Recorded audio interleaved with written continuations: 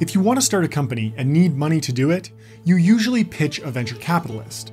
I've raised over $100 million for my two startups, and essentially all of that money came from VCs. But now, everything's changing.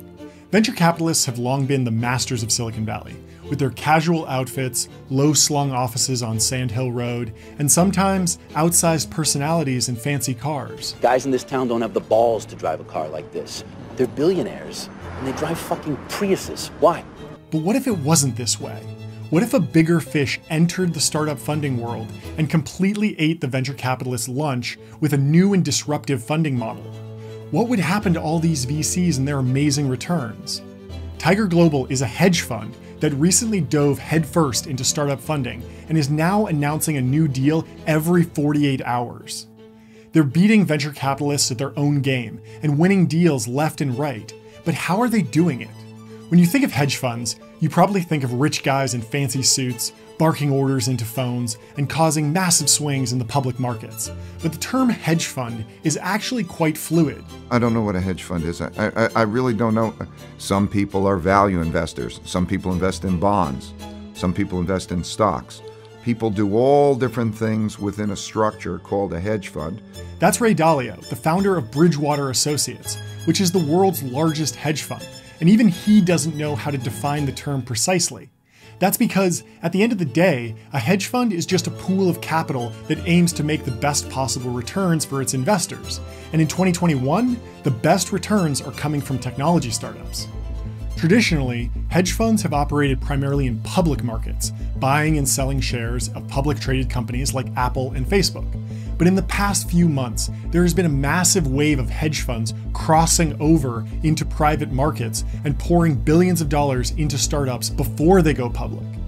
Tiger Global is the biggest of these so called crossover funds, and they do all of their deals from this skyscraper in New York City.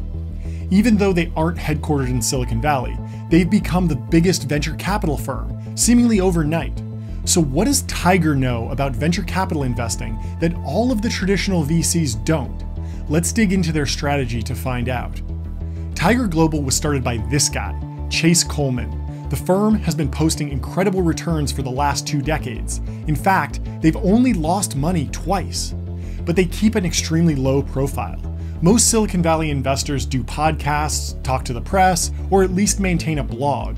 But Coleman is extremely secretive. In fact, this is the only picture of him available on the internet, and he's never been quoted directly in any press story. I had to learn more about Chase Coleman and how he became the biggest venture capital investor, seemingly overnight. So I analyzed every deal he's done in Silicon Valley to boil his strategy down to three key points. Everyone knows that hedge funds have a lot of money. Tiger alone manages more than $30 billion, and Coleman himself has amassed a multi billion dollar fortune of his own. But more on that later.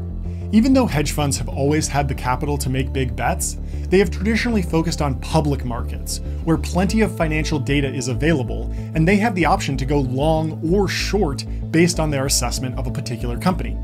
But Tiger has developed a unique edge when it comes to identifying fast growing startups, and this is their first key advantage Tiger has optimized the research and due diligence process. When an investor meets a company, they typically have a series of meetings to get to know the founders, learn about the market, and understand the financials. This often takes weeks, and even after the investor is ready to make the investment, the company will still need to spend more time going through a due diligence process that involves turning over extra financial information and having long calls with lawyers. Tiger has optimized this whole process so they can move faster than traditional VCs. Despite doing more deals than Andreessen Horowitz this year, they have one third the headcount on their investing team.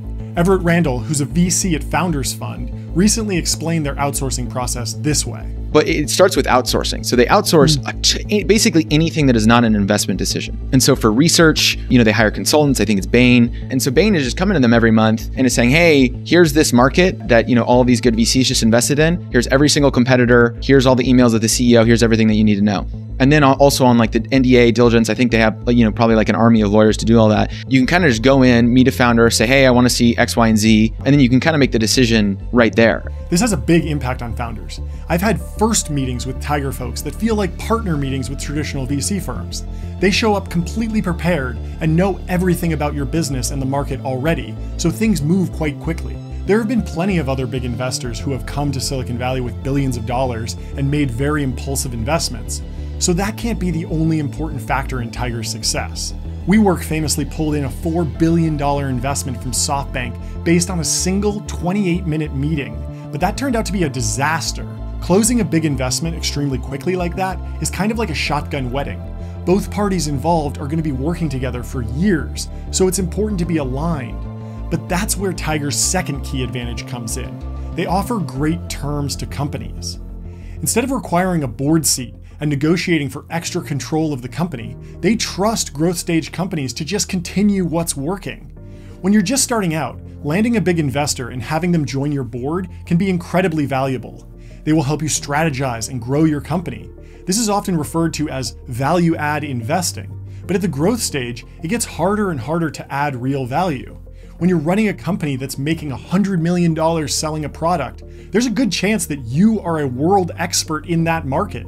A new investor who hasn't run a company in that market at that scale might not be able to add that much value. The founder of WeWork eventually got into a massive battle with SoftBank, and that board seat turned out to be really important. By not requiring a board seat, founders of companies who take money from Tiger don't have to worry about whether or not they will disagree about the direction of the company in the future. The ability to have more control over your business is important, but at the growth stage of your business, there's more at stake. Anyone who gets an investment from Tiger has a clear path to going public. But the IPO process is often tumultuous. Early investors want to sell their stakes, which are sometimes worth billions of dollars. But Tiger is used to owning public equities, so they don't sell immediately like other funds. This is a great thing for your company. It means that your stock price is less likely to fall after you go public because your investors aren't immediately selling their shares. This is all good news for entrepreneurs, but quick due diligence and good terms can't alone win an investor every deal. And that's why Tiger's third key strategy is so important. They aren't afraid to overpay. By the time you're ready to raise $100 million for your business, you've already probably done a seed round, a Series A, and maybe even a Series B. It's common for founders to own less than half their company at this stage. So when Tiger offers a big check that only requires 10% ownership instead of 20%, it's a great deal. But how can Tiger afford to overpay to win deals and still earn high returns on the fund? The answer ties in perfectly with Tiger's other key strategies speed. By deploying capital much faster than the competition, they can accept low returns and still make more money. A typical venture fund might raise a billion dollars and then deploy it over three years. If they're able to earn 3x money on money returns, this will yield nearly $700 million in gains per year. But Tiger is taking a more aggressive approach. They deploy a full billion dollars every year, and even though they accept a lower return of 2x money on money, they wind up making more money, $1 billion per year. You can see this strategy in action with Tiger's investment in Coinbase. It originally looked like they overpaid, but they wound up making a killing when Coinbase went public. This rethinking of the venture capital equation flies in the face of everything traditional venture investors believe. But unfortunately for these VCs, their preconceived notions of how the venture world should work don't seem to hold up in practice. Everett Randle compares Tiger's strategy to that of Bronn in Game of Thrones. During a trial by combat, Bronn has to fight Ser Vardis to the death on behalf of Tyrion Lannister. Ser Vardis is a traditional knight, bound by the rules of honor and duty to the crown. He fights Bronn head on and expects Bronn to abide by the unwritten rules of noble combat. But Bronn knows that this would be a losing battle, so he uses every possible strategy to get an edge, jumping over railings and dancing around until Ser Vardis is exhausted and he can strike a fatal blow. In the end, the court is outraged, but all that matters is that Bronn was victorious. You don't fight with honor. No, he did. This is what's happening in Venture right now. Tiger is breaking all the rules, and it seems to be working. But what does this mean for startups? Fortunately, only good things. If you're running a growth stage company and looking for tens or even hundreds of millions of dollars to expand your business on the path to going public, just having Tiger in the market at all will make your fundraising process much smoother. Even if they don't fund you directly, other funds will have to move quickly and offer good terms because they are living in fear of losing deals to Tiger. Now, most people aren't at that stage yet, and that's totally fine. But you're probably asking yourself if this trend is good for early stage entrepreneurs, or even people just starting to think about launching their first venture. The good news is that a rising tide lifts all boats in this situation. The additional capital that Tiger is bringing to the late stage market has made earlier stage investors more aggressive. Angel investors know that if they find the right company and the business starts taking off, there will be plenty of support from later stage investors like Tiger to help the company scale well past a billion dollar valuation. The only people who this really hurts are the traditional late stage investors that Tiger competes with for deals. Everett Randle works for Founders Fund, which was started by Peter Thiel and has a legendary track record entrepreneurs will still want to work with top tier firms like that because they actually have a powerful brand. But there is a whole category of firms which Everett called JC Penney funds. They don't have fancy brands, but they also don't offer the Walmart style experience that Tiger can give entrepreneurs. Increasingly, these JC Penney funds are getting squeezed, and Andreessen Horowitz is building a massive media arm to differentiate themselves, and there are no signs of Tiger slowing down their pace. So firms stuck in the middle will likely struggle to win deals over the next few years. But what about Chase Coleman, the founder of Tiger Global and the leader of this venture capital revolution? I, for one, hope he starts opening up a bit and doing the occasional interview. But for now, we'll just have to settle for gawking at the insane properties that the Tiger team is buying up in Palm Beach, Florida. If you'd like to chat with me about this video, just leave me a comment below or message me on Twitter. And please check out this recommended video. The YouTube algorithm thinks that you'll really like it.